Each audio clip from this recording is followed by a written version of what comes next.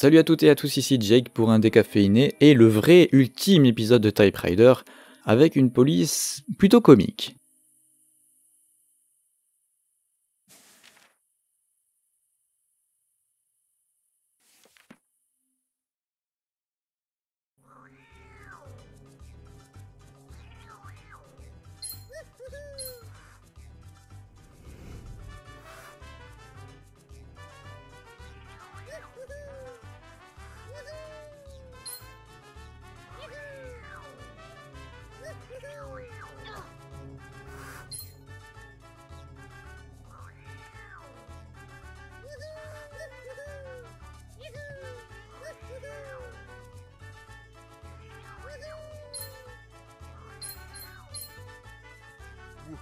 fuck.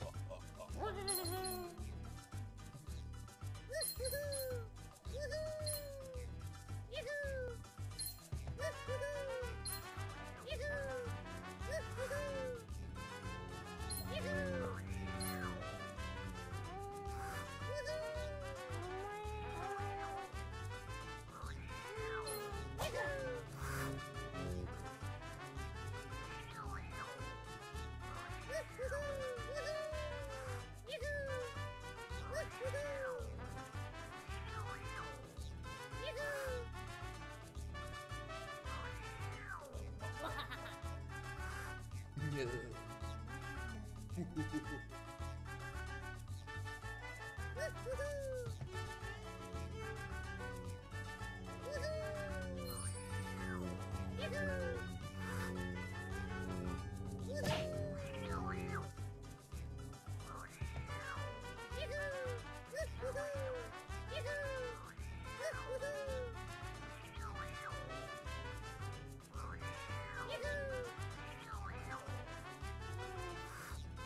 예.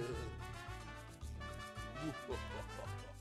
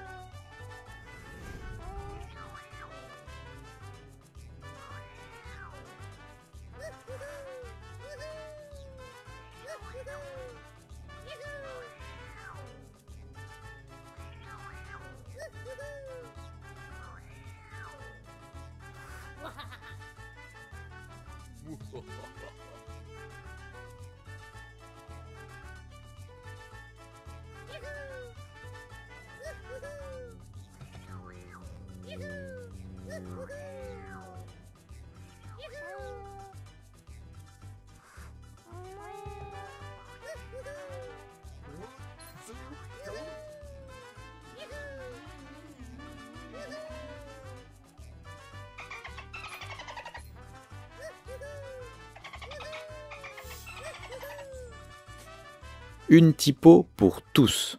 Alors que les fontes vectorielles triomphent et que Apple a vendu à Microsoft une licence lui permettant d'utiliser les polices TrueType dans son système d'exploitation, les années 90 signent le règne de la typographie à domicile. Les particuliers s'équipent massivement en informatique et chacun peut désormais choisir la police avec laquelle il veut écrire dans son logiciel de traitement de texte. Mais encore faut-il apprendre à s'en servir. C'est pourquoi, en 1994, Melinda Gates, la jeune épouse de Bill Gates, travaille sur le logiciel Microsoft Bob, destiné à rendre l'utilisation d'un ordinateur de bureau plus ludique. Vincent Conaré, typographe employé par Microsoft, est consulté sur ce projet. Quand il découvre que Rover, le chien qui sert d'assistant pour utiliser le logiciel, s'adresse à l'utilisateur en Times New Roman, il proteste. Selon lui, cette police ne convient pas à une bulle de texte. Mais les polices existantes sont trop formelles et aucune d'entre elles ne peut remplir cette fonction.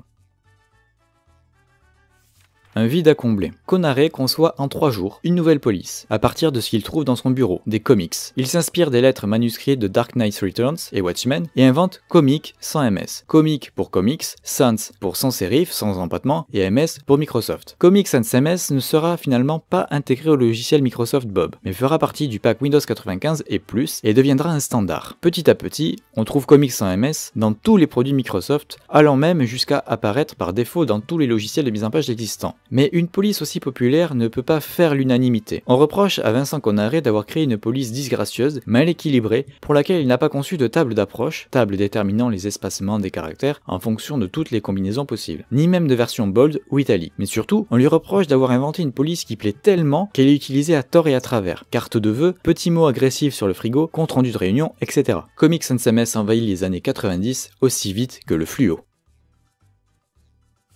C'est moche, mais ça marche. Les raisons du succès de Comics Sans SMS sont simples. Vincent Conaré a réussi son pari en créant une police légère et informelle, là où la typographie n'offrait que des propositions sérieuses. Ne serait-ce que par son nom, la Comics Sans SMS n'intimide personne, mais cette police grand public n'est pas au goût de tout le monde et déchaîne la haine autour d'elle dès les années 2000. Un mouvement Ban Comics Sans SMS, bannissons Comics Sans SMS, est lancé, un jeu Kill Comics Sans SMS est créé, des menaces sont proférées, mais Comics Sans SMS reste et la science est même en train de la réhabiliter. Connor Diamant-Newman, chercheur à l'université de Princeton, a récemment découvert que les polices compliquées et irrégulières, dont Comics Sans SMS fait partie, amélioraient la mémorisation des informations. On a également remarqué que les personnes souffrant de dyslexie lisaient plus facilement un texte rédigé en Comics Sans SMS qu'un texte en Arial ou en Times. Et en 2012, quand le CERN l'incontournable et très sérieux Centre européen de recherche nucléaire présente sa plus grande découverte du 21e siècle, le boson de Higgs, il le fait en comics sans SMS. Mais malgré tout, Comics sans SMS est encore aujourd'hui la mal aimée de l'art typographique et suscite toujours la controverse.